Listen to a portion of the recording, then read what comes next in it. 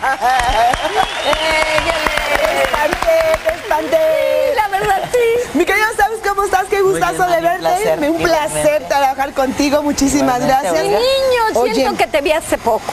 Pero bueno.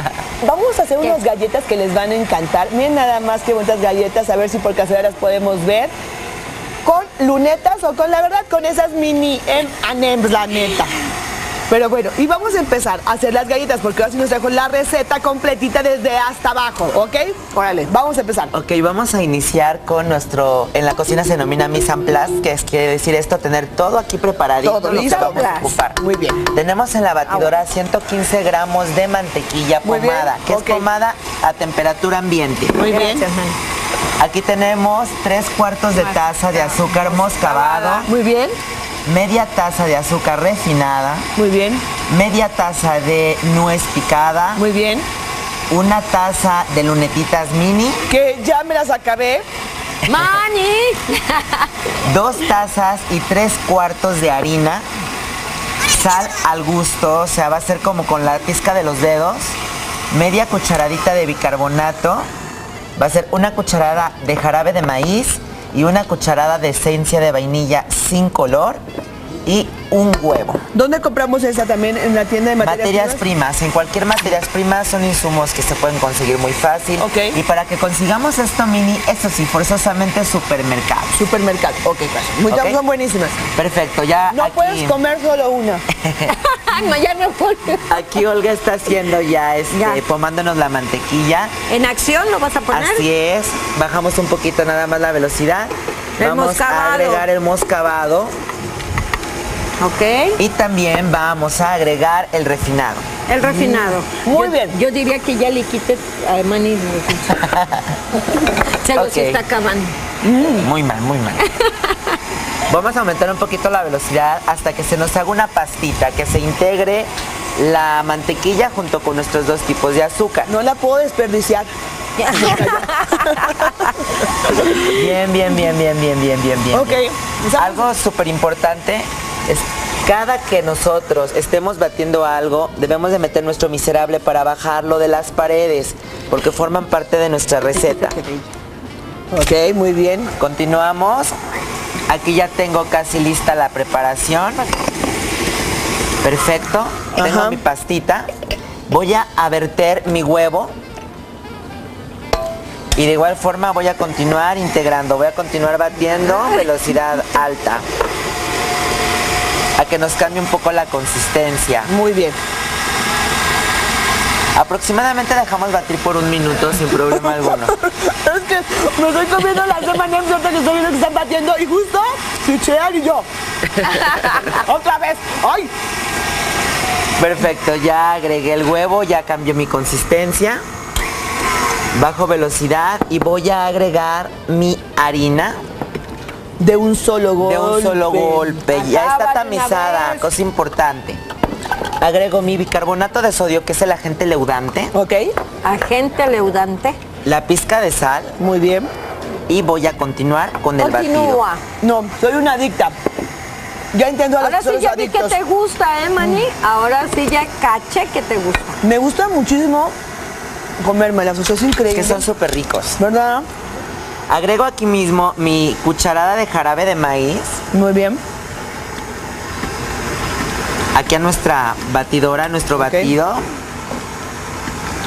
Asimismo, exactamente, Manny, muchas gracias. La vainilla sin color. Es muy fácil de conseguir, ¿eh? también ¿Ah, sí? está en el supermercado. Vainilla sin color. Sí, color. Sin color. Fíjate que cuando yo la empecé a usar hace muchos años, hace como unos 20 años, Era más que difícil. empecé a usar, estar en la cocina, no había manera de conseguir así. Los únicos distribuidores estaban en Nuevo Laredo. Eran los únicos que tenían. Yo no sé por qué Nuevo Laredo, no tengo ni idea. En no el hermoso estado de Veracruz hay unas deliciosísimas y muy económicas. Claro, pero eso hace 20 años no se hacía. Y entonces cuando yo dije, ah, tenía yo una vainilla blanca, entonces me saqué, sí, vainilla blanca. Agrego Así también mi nuez, ¿Tu miren, nuez? ya se escucha el golpeteo de la Sí. batidora que ya está desprendiendo, eso significa que ya está lista casi. Y agrego mi media taza, voy a dejar unos cuantos para decorar al final. Ay, qué bueno. Listo. Vamos a presumir nuestra masa. Mm. qué bonita masa. Miren qué linda. Es muy importante que chequemos la masa y ¿Ahí la consistencia. Miren qué bonita. Muy manejable. Esta preparación la vamos a embolsar ¿Ok? por una hora refrigeración. Aquí ya la tengo fría. Muy bien, ¿Y cómo vamos a trabajarla? Tomo mi masa con nuestras manos perfectamente limpias en un tapete de silicón para hornear o puede ser también en papel Estrella. siliconado estrella. muy bien. Con nuestras manos vamos a bolear y vamos a Volea. apretar un poquito. también. Yo buleo. Ah, no, no sé. Y nuestros enamems en la parte superior. Hoy Dios mío, hoy es una bolona gigante. Creo que lo voy a quitar tantito. Sí, eh, lo lindo es que ya venden algunos tapetes con medida para cookies. Sí, ¿verdad? Sí, sí, está padrísimo. aquí está este. Eh, eh, miren, ese está muy informado. ¿Así? Así es. Presionamos un poquito Mira, holgazana. y nuestras lunetitas Eh, arriba. Mire, holgazana sí la hizo bien, señor profesor. Ha aprendido mucho la Manny me está copiando, señor profe. Ah, y ahí vamos a ponerle las M&M's, ok, Así es. las mini. A ver, ¿a qué temperatura?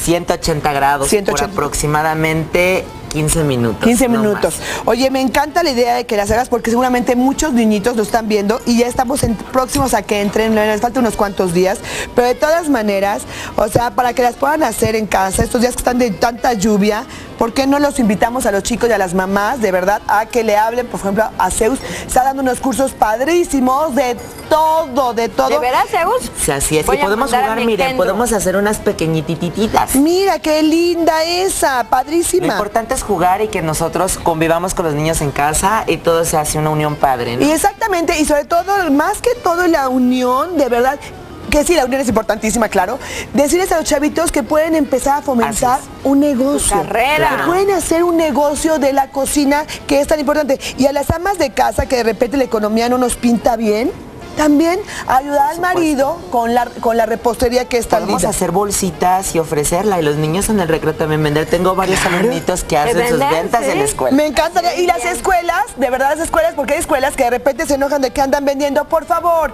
en vez de que se enojen, foméntenles, porque eso es muy bueno para las matemáticas. Entonces, si a los ponemos a sumar y a restar vendiendo, van a aprender más que en la escuela. Porque recuerde que si apre- aprendemos de lo concreto a lo abstracto, es mucho mejor que de lo abstracto a lo concreto. Vamos a ir a un corte comercial sin antes darle las gracias. ¿Qué tal? No entendí, abstracto, concreto, no. Montessori, María Montessori. María ¿Ah, Montessori sí? siempre dijo que aprender de lo concreto a lo abstracto es más fácil que, imagínate un bowl de cristal, es mucho más difícil aprender de esta Ah, manera ya, que aprender de esta Ya manera. entendí. De lo concreto al abstracto en vez del abstracto a lo concreto. Ya entendí. ¿Verdad? ¿A poco no? Así es. Entonces ya lo saben, Zeus, como siempre es un placer recibirte aquí Igualmente, Cocinemos Juntos. Nos vemos a ratito, vamos a ir a un corte comercial y regresamos para hacer un delicioso pescado empapelado con zanahoria, eneldo, limón y ajo. Además, los actores de la puesta en escena Café Amor ya están con nosotros, son unos tipazas. Ya está Ginny, está Rosana, Rosana. y Alejandro Periche. Ay, está re guapote, huele Qué bien barra, rico. qué rico está. Está riquísimo. Ahorita Me venimos. No se provoca, Gracias.